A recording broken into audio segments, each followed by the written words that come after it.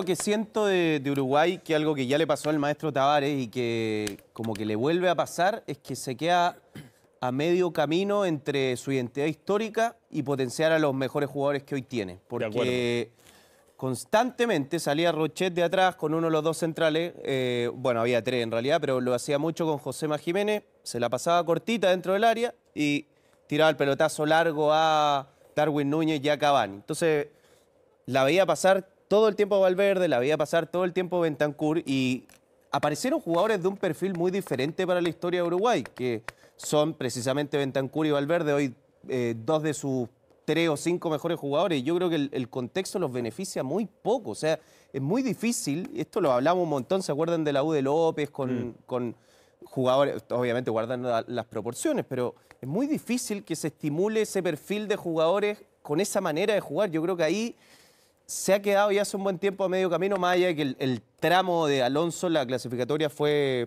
eh, bueno. A mí lo que me llama la atención es que teniendo a uno de los mejores jugadores del momento en la temporada en Europa, que fue Valverde, que muchas veces lo hizo de puntero derecho, o sea, o de delantero o de volante por la derecha en el Real Madrid, eh, lo tenga tan ligado a la marca, porque tú decís tiene gol, tiene remate. Las veces que logra participar, hace daño.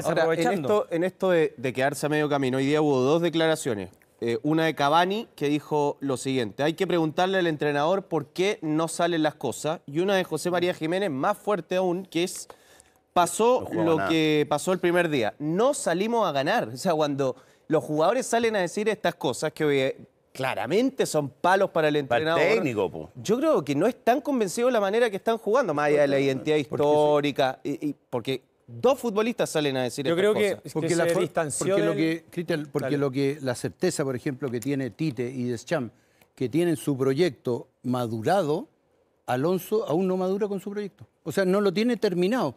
Tiene los mismos jugadores, tiene mejores jugadores, tiene mejor recambio. Pero que agarró los últimos cuatro partidos. Por eso, fue el último envión, el, el, recambio lo fue haciendo con Tavares, pero hoy, hoy hay este tipo de dudas en cuanto a, cómo ataca, cuándo va a atacar, cómo lo va a hacer, lo va a hacer con dos por el centro, dos por fuera. Y yo creo que los propios jugadores adentro no están convencidos de eso. O sea, yo estoy de acuerdo. De hecho, eh, no es solamente cambiar el sistema, sino que es la forma. Yo creo que en la forma Uruguay eh, no se encuentra. Eh, hoy mejoró no solamente con los ingresos de Pelistri y Yoya Andarrascaeta, que a mí me había sorprendido que no haya jugado porque el tipo la rompe, y la rompe en serio en Flamengo. Y Pelistri fue uno de los jugadores más determinantes en las últimas cuatro fechas de clasificatoria, un tipo que, va, hacia adentro, que le da profundidad. De hecho, ingresó y tuvo tres desbordes, tres. Eh, prescindió de Godín, puso línea un, un 4-4-2 y a partir de ahí empezó a mejorar también modificó el sistema, porque hoy la línea de tres como que le sobraba, de hecho no tenía referencia. Nada más que yo creo que era mucho, línea de tres, tienen que tener dos balas por fuera. Y para mí otra clave es que eh, insiste Puso línea de tres volantes, sí, pero para mí, Vecino, Betancourt y Valverde, restas un futbolista de otras características. O sea, libera a Valverde, y, pero dale un Nico de la Cruz, un Pelistri, un Joyan de Rascate para que genere más juegos. Y mira, jugó Suárez con eh, Darwin Núñez el partido anterior, ninguno de los dos fue nutrido ni tampoco fue eh, determinante. Hoy jugó Cavani y Núñez, sacó a los dos y en la primera jugada que entró Gómez vino una, jugada de Pelistri y la pelota en el palo. Entonces, por eso son las críticas también, porque cuando se animó, llegó al arco rival y, insisto, para mí eh, es mucho el castigo de 2 a 0, pero regaló 60 minutos. Estoy de acuerdo. Eh, yo pensaba en, en Torreira, quizás podría entrar en esa mitad de la cancha centralizado, Matías Vecino puede ser interior, eh, o sacar a... Más labores defensivas. Es que tiene que, tiene que modificar y tiene que salir a ganar. Yo para mí, Bentancur y, Valverde y Vecino, prescindir de Vecino. Sí. Es exceso de volantes de ese, de ese corte. Pero es que yo, yo pondría al verde puntero derecho. Sí, pero, en el Real, pero tiene que Jordan Arrascaeta tiene que ser titular. Sí, tiene que estar jugando. Que o sea, tiene que ganar el partido. Que le dé pase, que juegue para adelante, un pase filtrado, lo que hizo. Y, y deja fuera Suárez y Cavani.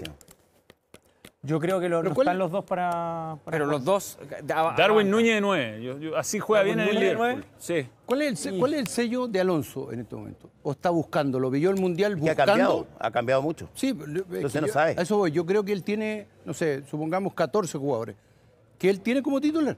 Y no sabe cómo, Armar. si juega este, si juega este, si juega con dos por el centro, con dos más abiertos, si juega con tres volantes o prescinde de uno y juega con hombres por fuera y los dos volantes mira, está a mitad de camino, Cristian. A mí me da la sensación que está a mitad de camino. Y que se hablaba en la prensa de Uruguay en su momento, fueron como tres cambios importantes, que empezó a jugar Rochete en el arco, que Araujo empezó a jugar de lateral por derecha, como que, como que organizó la defensa, porque recordemos que antes que se fuera el maestro Tavares, Uruguay había sido muy vulnerado, había comido, se había comido varias goleadas en las clasificatorias, y como que sostuvo la organización defensiva. Y lo otro fue la inclusión de Pelistri, que no era un jugador de, de selección y que fue determinante en las últimas fechas. Después un gran cambio de juez no tuvo en esos últimos cuatro fechas. Pasa que ganó los, anímico, los partidos que tenía que ganar. ahora, quizás anímico porque sale todo en este camarín con, porque tiene a Suárez, a Cavani que han estado se han estado turnando prácticamente, no están jugando los dos juntos las declaraciones de Jiménez que dice Gonzalo, el tema de Rascaeta, lo afuera, y perdiendo que te digan no salimos a ganar el partido, uh, ya hay un problema dentro. Es que sabes qué, yo creo, yo creo que yo creo que está el liderazgo de los dos, de Cavani y de Suárez, está, está, está hasta que se retiren.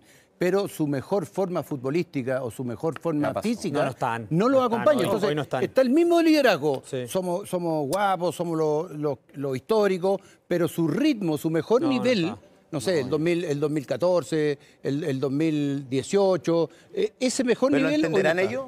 Yo creo que Ese es el tema, lo entenderán ellos, dirán, ¿sabes que, no estamos en el mejor nivel?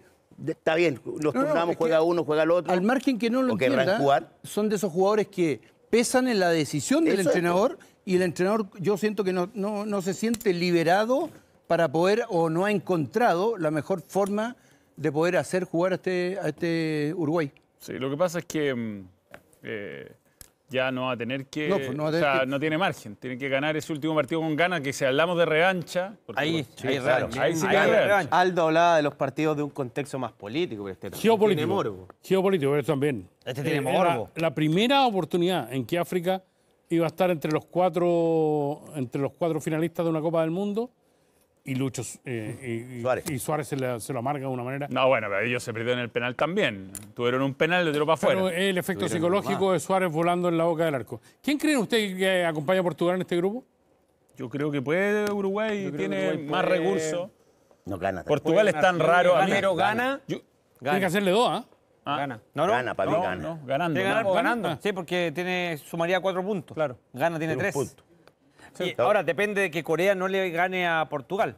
Porque ahí Corea tiene mejor diferencia. Hoy día eh, Corea con un poquito más de puntería o con más peso ofensivo, yo creo que era un partido que pudo empatar o perfectamente ganar. Corea hoy día. Corea, sí. Sí, sí. Jugó muy bien Kudus en Ghana, ha sido una gran revelación del Mundial, pero no sé si era un partido para que lo ganara Ghana. Al final, esos 10 minutos de descuento en Ghana, se han querido morir, ¿no? Vamos a ver la tabla de posición. Veamos ese partido, tenemos ese partido, ¿no? Antes.